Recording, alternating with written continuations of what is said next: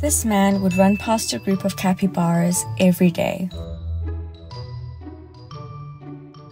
But he wouldn't interact with them. Capybaras are too skittish, anyways. Tá procurando ela, chamando a mamãe Capia.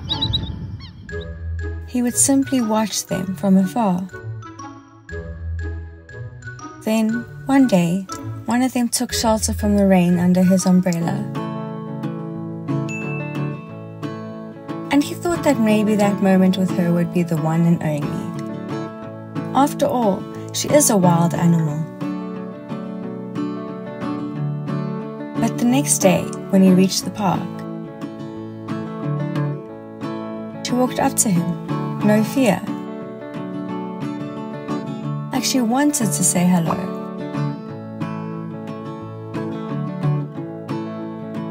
And ever since then, they would hang out every day.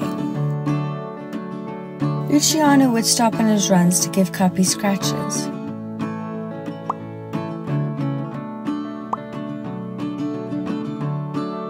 Cappy would eagerly await Luciano's visits.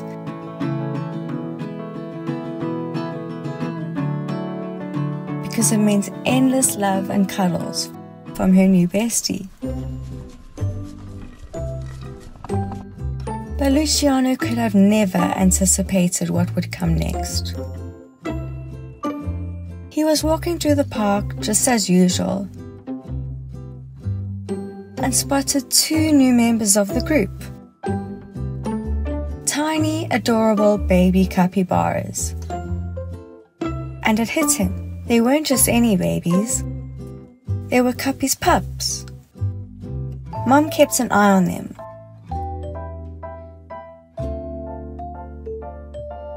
But she let Luciano come close, even at their most vulnerable, like when she was feeding the babies.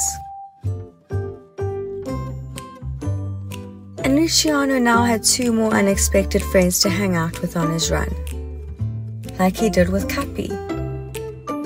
He would watch them grazing, and the capybaras didn't mind.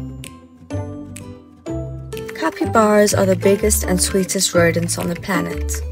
I couldn't imagine such wonderful creatures existed before I met them. We all would love a capybara pal like Cappy. But it is up to them if they want your affection. Maybe one rainy day, you too will be joined by a floofy friend. Jeg I have never seen a human so obsessed with anything as my mom is with Einstein. In the Christmas holidays, we were over for dinner and she was like, Frida, you have to move over so Einstein can sit in the comfortable chair. Because if he's on the plastic chair, he will probably slide. He walks around with her all the time he is the grandchild and i'm convinced she loves him more than she loves me. When we were gonna get a dog we did not want a white staffy. Because i thought they're not cute. But then we got there and we came in and i just looked at the dog and that's when we fell in love the day we took him home, he slept in the crate. He did not cry for a second. He just laid in the crate and totally relaxed. The longer we had him, the more I got to know his personality. He will crave our attention at all times he will sit on our lap and he will be so mad if we sit at the dinner table and he's not invited. Even when it's his favorite things, he will leave it. he doesn't want to eat it without us. Today is Einstein's first day of home alone training again after the holidays. When we started training him to be alone, we took up the camera so we could see if he started biting our shoes or acting out.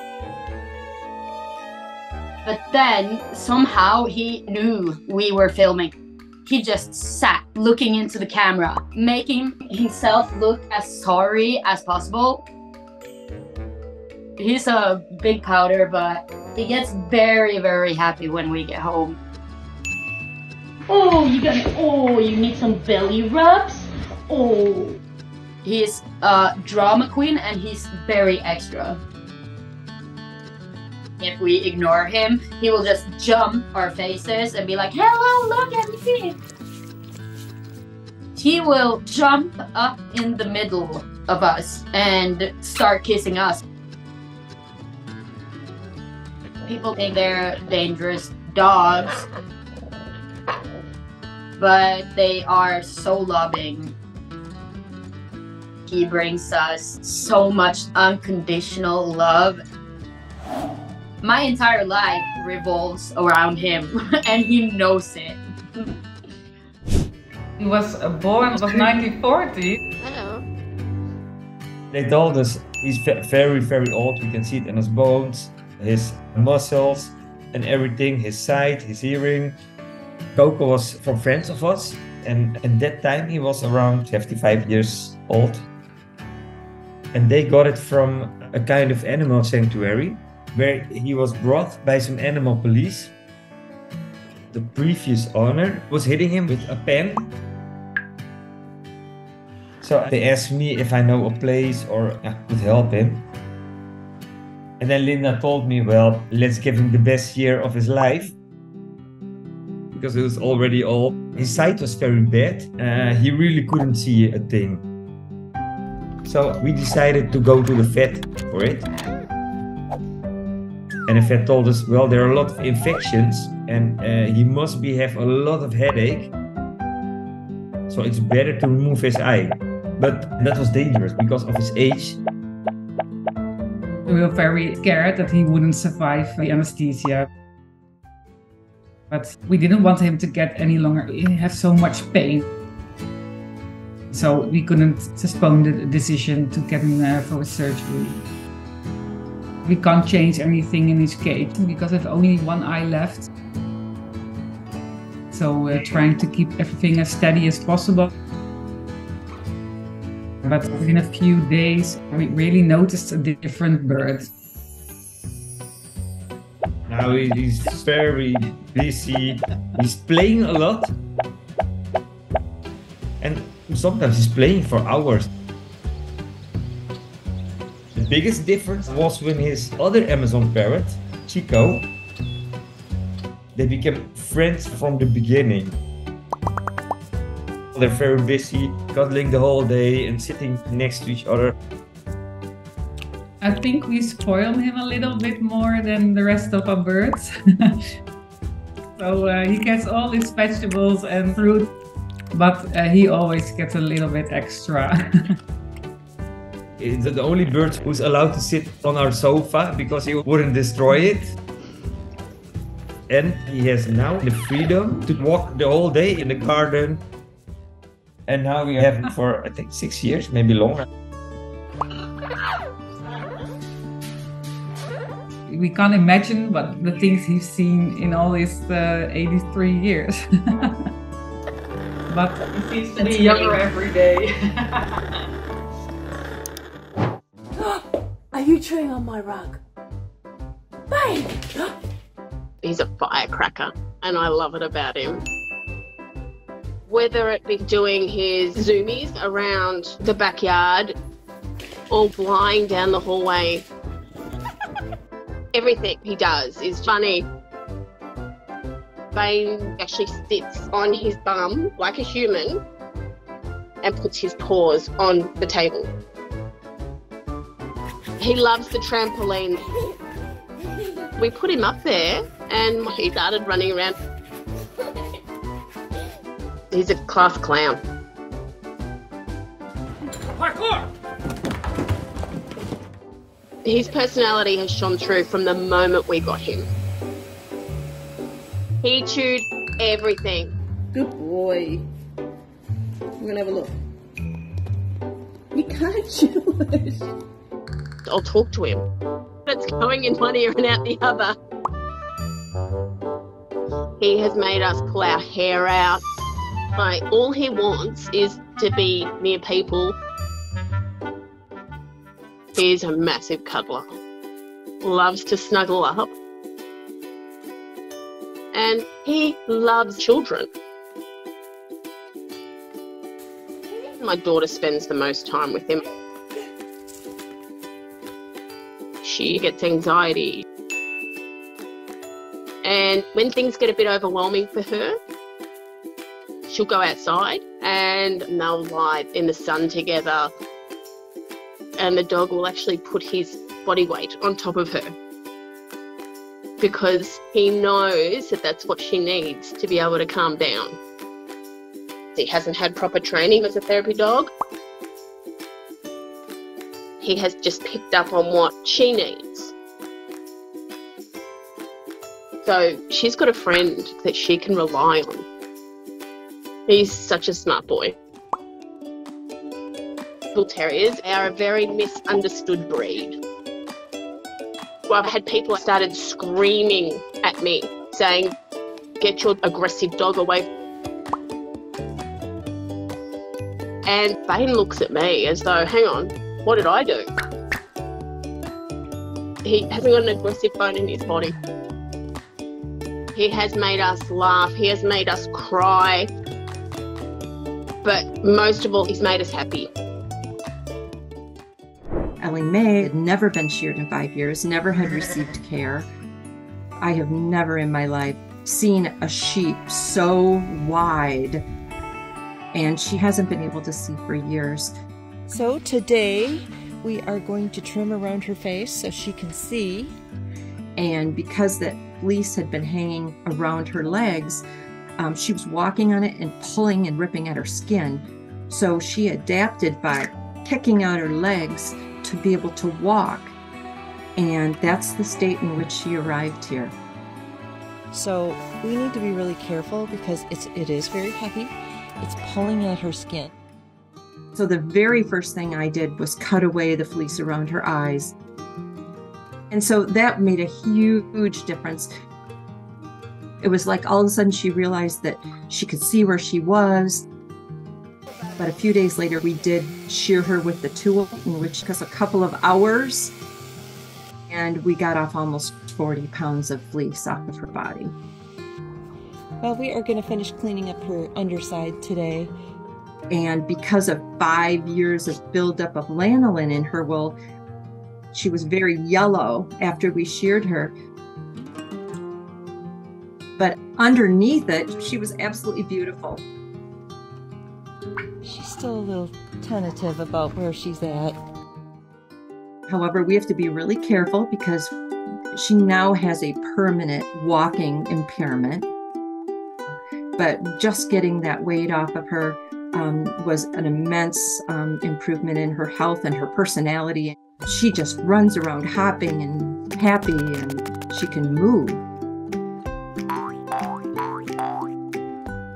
Good morning, Ellie Mae. Everybody spent the night together in here. Because she has not seen any other animals for probably four years. She definitely was very timid at first. We had difficulty getting her to come to a food bowl to eat grain. So we put her in with our sheep, Yammy. And after everybody took an hour or two to get used to each other, they were absolutely fine. Hi there. Yummy. It did, didn't take long for her to realize that they were friendly. Right now, she's just one of the gang. She spends her days with all of the other sheep. It's all went beyond amazing, and she's blossoming being with other animals. She has found her family. Every day, this prairie dog jumps into his owner's car to meet up with his buddies. Rocket with the squirrels, hit it with the dogs, and go to town with the cats. Chuck has the most unique friend group of all time.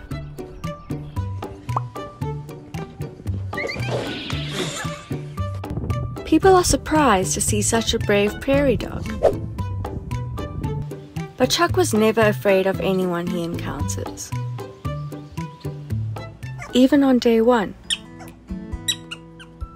His owner got Chuck from a rescue many years ago. Oh my god, it's the cutest video I've ever seen in my whole life. His past is unclear, but by the time the baby was nursed into health, he got too dependent on humans to be released. So he became a regular family member. Chuck is happy. His owners made sure he had the best life possible.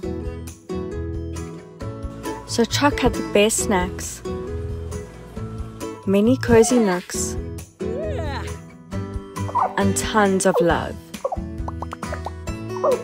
Chuck bonded with the owners so much, he refused to leave their side.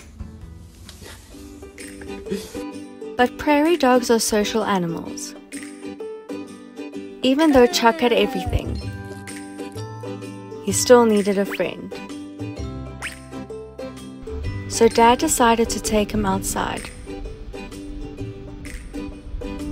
Chuck hopped into the car with no problem and went off exploring the wild. There, Chuck met many animals. But unlike most prairie dogs, he wasn't afraid one bit. He would run up to them as if saying, Hi. It was amazing.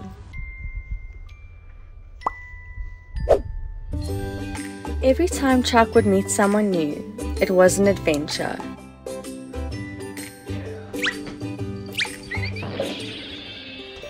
Then one day, his family got another rescue.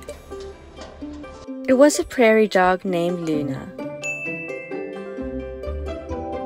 He started snuggling her right away, and she didn't mind.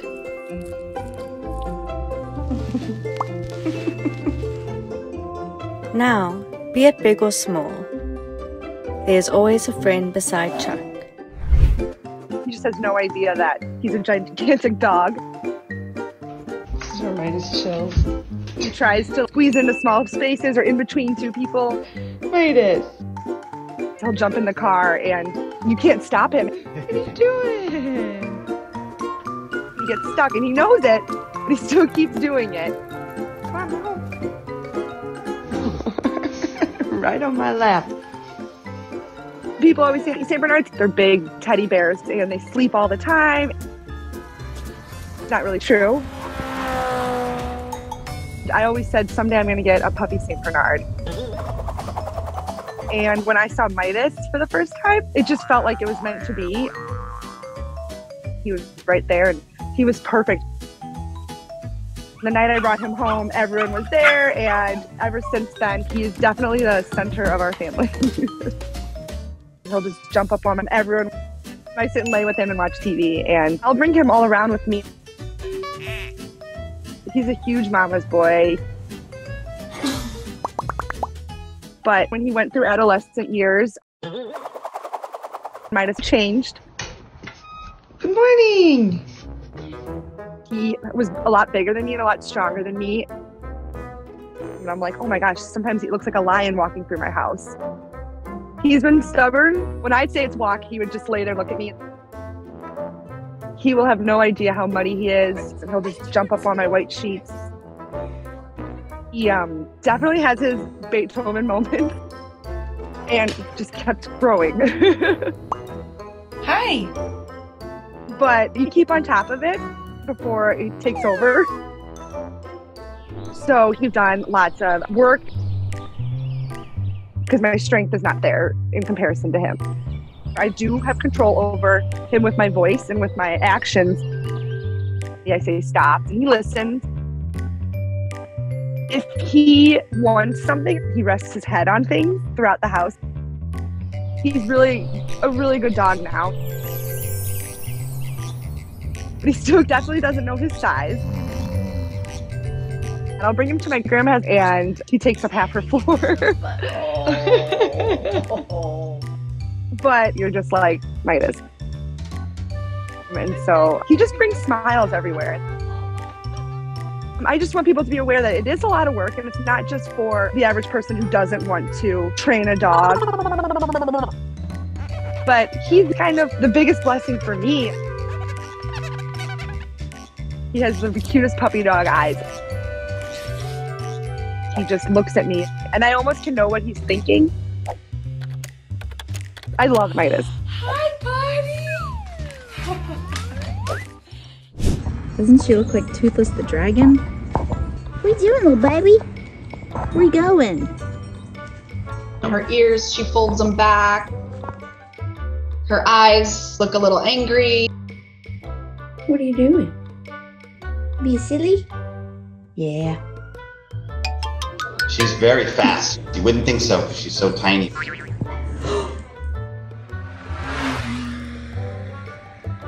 She runs full blast, all four legs are off the ground at one time. Toothless only chooses to listen when she wants to. Baby, want some tuna? Don't you do it! Don't you? Ah. Oh.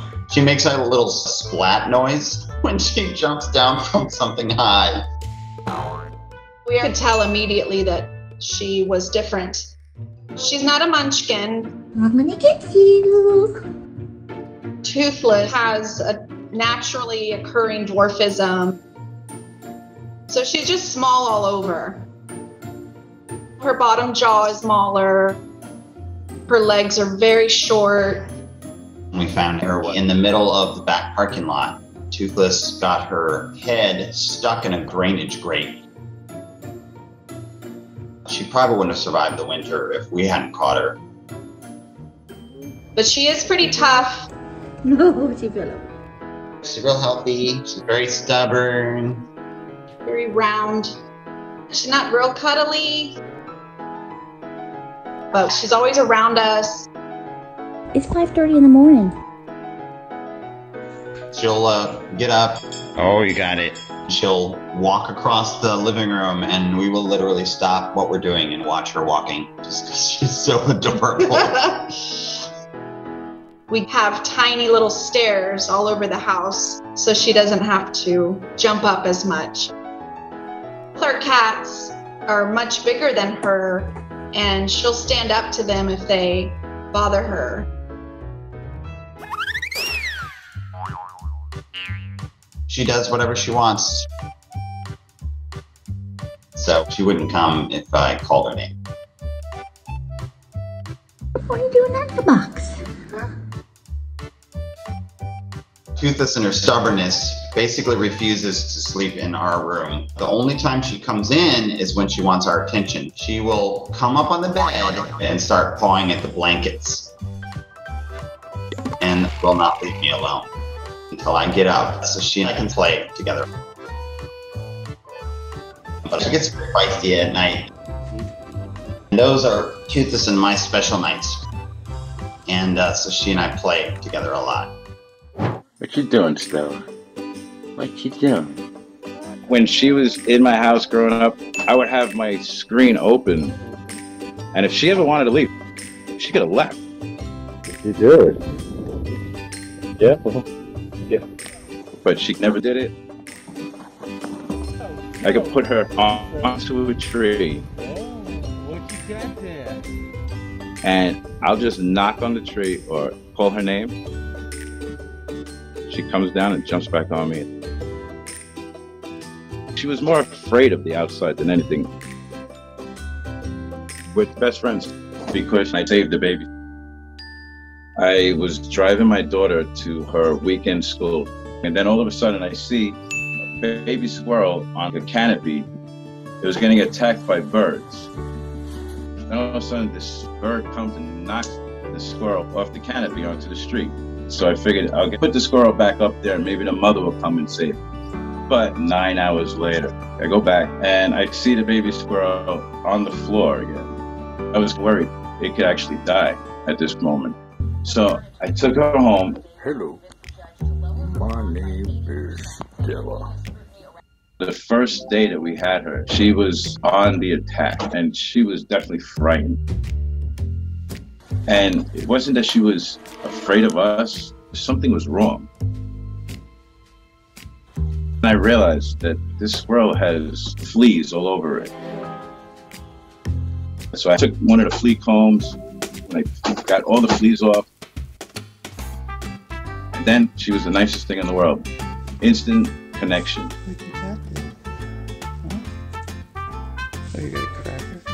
Me and Stella are hanging outside. She's got a little vegetable stick. It was like me and her were meant to be together. She looked at me like, You saved my life. You're my hero, and I'm going to be with you. Where are you going? Somebody thinks they're hiding. She still has a little wild in her. Don't break it. Don't break it. Hey. She loves to travel around and climb. What's the matter? It's too cold for you? Playing in your little winter wonderland? She loves to run out there and just dig, dig, dig. Stella's superpower is ability to make you fall in love with her. She has a really special quality of charm. She'll just look at you and you want to give her something. You look like a big burrito. Are you a burrito? She's totally amazing and she really brings a lot of joy and, and fun. What does he have? Fred! What do you have? What do you What is that? If he sees a new boat that just arrived, he just needs to get on that boat. Fred! That's not your boat. So he's well known at the harbor. He even has a little security shirt. Fred is kind of crazy and rough around the edges. He was actually walking more normal on the boat than he was off the boat, which was kind of funny Here he comes down. Come on, Freddie! because at first he wasn't very healthy. My husband and I were hanging out on the boat, and we suddenly hear this really loud meowing. And we saw this little tiny orange kitten outside. He was covered in fleas and just looked kind of sick. And suddenly my husband was like, Oh, well, we should get him a bed and we should get him a collar, food, and some toys and a litter box. I just knew at that point that we were going to end up keeping Fred. He adjusted as if he was always there. Living on a boat definitely brought out his personality to its fullest. Fred Fred likes everything on the boat. If the engine is running, he's there. He's a harbor master in his own right. I think the only living thing that Fred respects is Fajoli. Fajoli is definitely different than Fred. He was also a stray kitten. He's very shy, very well behaved, very big, but gentle. They are opposites. Fred can get rough and a little bit too rambunctious, and Fajoli will just show his size, and Fred listens. Fred is always there no matter what we're doing.